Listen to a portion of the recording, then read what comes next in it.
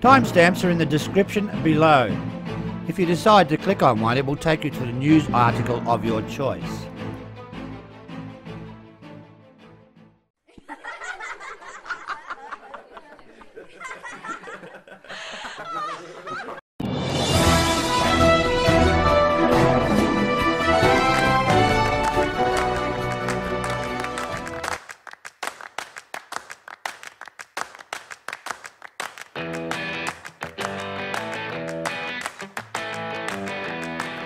Hello everyone, Stephen Clark and friends here. Good morning, good afternoon and good evening, no matter where you are. So what have we got today? The Bangkok ladies underpants snatcher has been apprehended in Bangkok. A Bangkok sex investigation? They're making pornos at the university. Yeah, well, whatever. A wonderful story about a girl making a rice straw and virtually putting the plastic bag out of business. This could really take off in Thailand and make Thailand a lot of money. Another weekly high speed crash, this time eight British tourists injured. A man decides to go on a shooting spree in Thailand. He was later apprehended a few days later and found out to be a school teacher and did it because he was bored. But we'll cover that in another bulletin. But first up, the Bangkok ladies underpants pincher.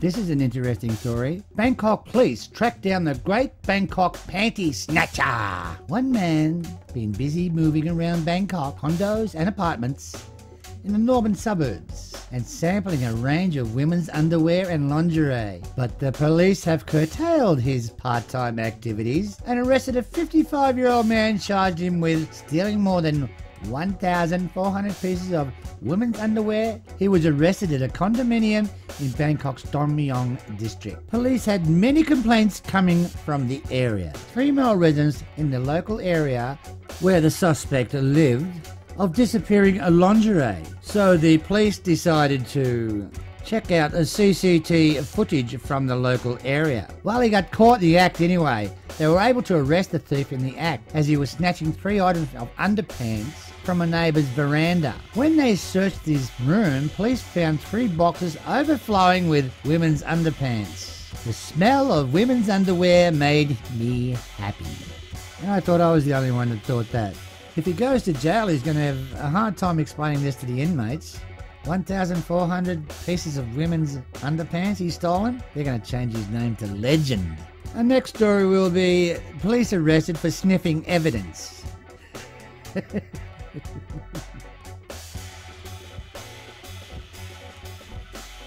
Johnny Siam reporting Bangkok, the scene of a lurid act at the Bangkok University tennis courts. Up to 40 police are investigating the reported incident of a sexual act which had been committed on the campus. After the officers spent many hours viewing CCTV footage, they had found that this in fact was a group of people making videos of a pornographic nature. With a task force of up to 40 officers now looking for this group that have posted online their sexual prowess in many, many different public places. So I think this is going to be an ongoing story, but I'm sure with 40 officers on the case, they will come to conclusion very shortly. Johnny out. Yeah, thanks for that, Johnny. I will be hunting around the internet myself, looking around for any evidence of these porno movies.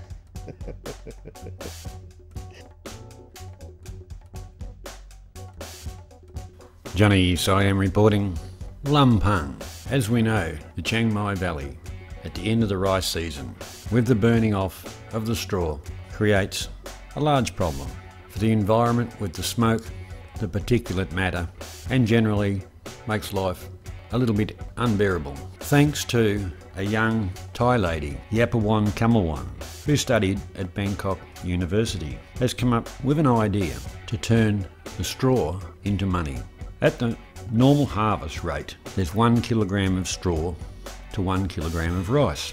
With a purchase price of three baht a kilogram, she takes the rice straw to her factory, which she then, with no chemicals, cuts the rice straw up into small pieces and it's boiled. Then it's dried.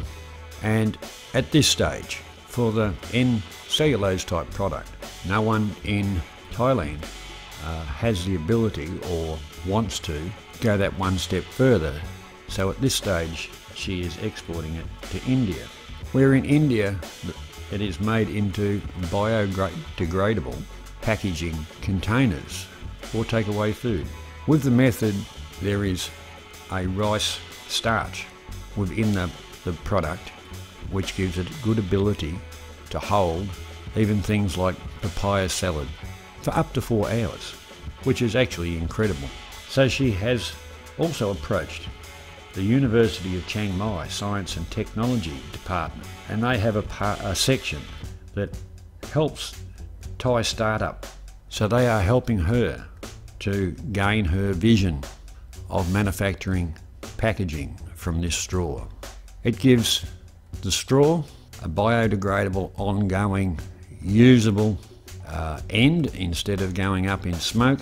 It also, in her small factory, when the harvest is over, it gives the local people an extra income, not only from the rice, but lots work in her factory. With consultation with vendors, food vendors, and also the Thai government having a ban on plastics. She will go far as an environmental solution and cost efficient solution to the whole thing. So Thailand needs to be proud of her and the world needs to stand back and take a little bit of notice. This young girl, through her own initiative, because she started this project up with an idea, cooking up the rice straw, her grandmother's cook pots, and now she is starting to realise her dream. Johnny out. Hello there. If you are watching these videos, could you please help us out and push the subscribe button or click on the subscribe button if you like? It helps us out a hell of a lot. Be most appreciated. And now back to the video. The carnage on Thailand's roads. When will it all end? These minibuses are involved in so many accidents and so many people are dying. And really, for what?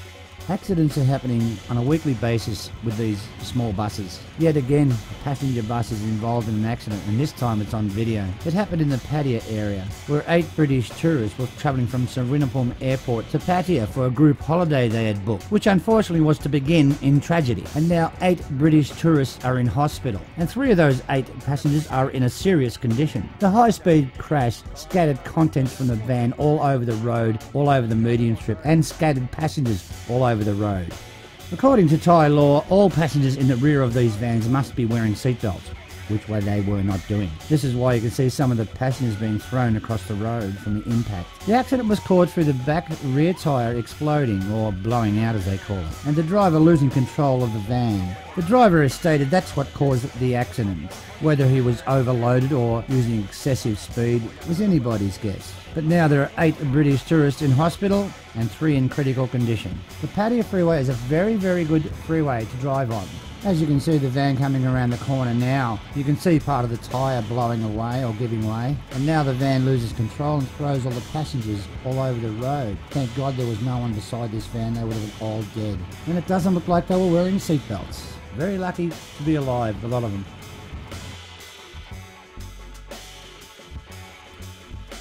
Lopburi province in central Thailand, just outside of the Bangkok area.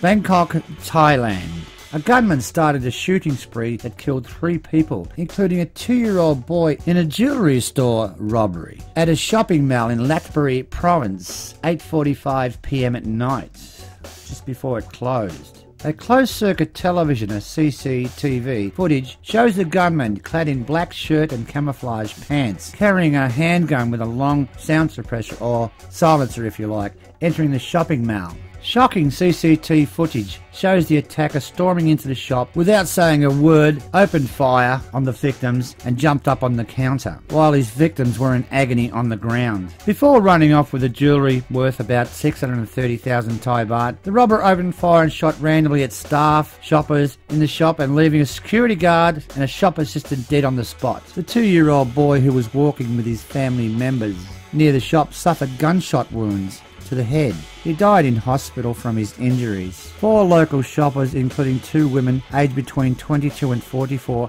are reported to be in a critical condition. After the robbery, the gunman shot and killed a security guard before escaping on a motorbike. Deputy National Police Chief said the police are offering a reward of 100,000 Thai baht to those with information leading to the arrest of the suspect. On a side note, Police are trying to ascertain why the gunman would go into a jewellery shop and kill so many people for such a small amount of money. Perhaps a more sinister act was at hand. Two of the wounded were husband and wife, who were browsing gold jewellery with their daughter when the gunman strolled into the shop. The couple are reported to be prominent business people in the province. They both underwent surgery and were still recovering this morning. Their daughter escaped unharmed. Thai Prime Minister Prayut has offered his condolences to the victims' families and condemned the gunman for killing the young two year old boy, saying such an act was deplorable. Social media has also roundly condemned the robbery, claiming that the death penalty was the best punishment for such a heinous crime. There has also been speculation online that the actions and attire of the assailant gave the appearance of an army trained soldier. He was clearly trained in the use of his weapon. The Crime Suppression Division say they are now getting more information on the victim's business and personal profiles to try and uncover any possible motive for the crime. Police have their suspicions of the true motive.